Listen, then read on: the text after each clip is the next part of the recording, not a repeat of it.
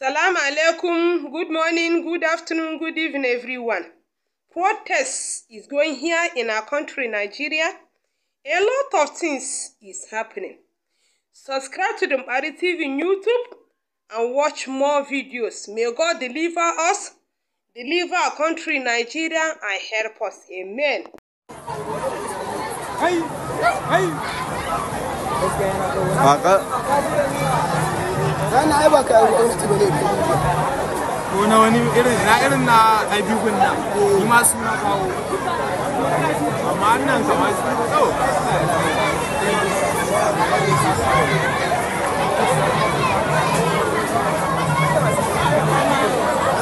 ta zama ce Hawa.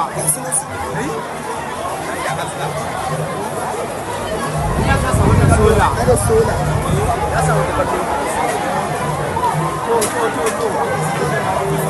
Ada fenti ɗan Kaga wani kwamfuta ya samu. Wancan laptop ce. Laptop ga wani ma.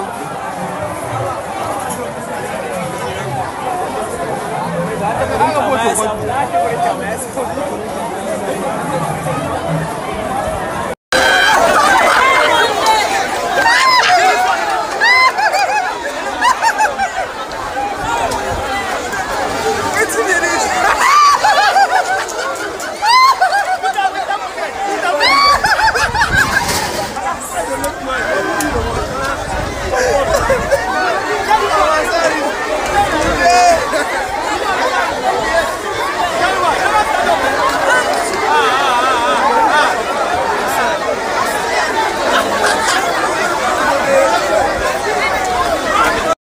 Haka foto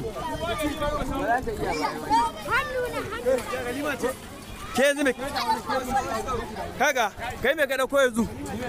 Eh. Ganima?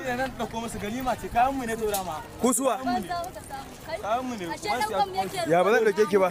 Ki juya ku da wace ku ɗauka kayan mu ne? Kayan gwamnati.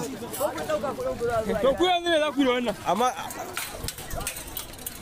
inna lillahi wa inna ilaihi raji'un. To jama'a kun ga halin da gwamnati ta jefa mutanen mu a ciki. Wanda ba sana'a shi ma ta koma sana'a sa.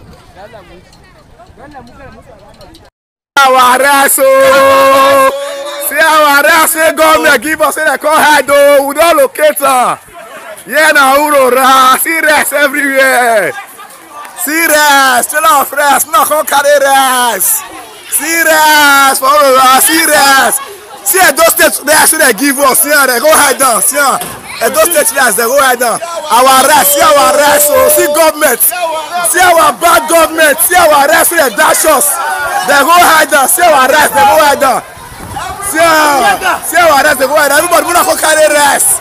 See edo state rest muna come carry. See rest.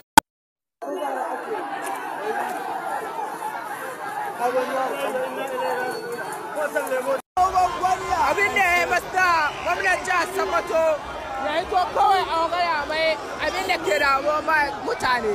Ga can ga ma'aikata can sun to su da yawa. Su kuma sakwata sai ɗayan su dole sai an kawo musu ceto.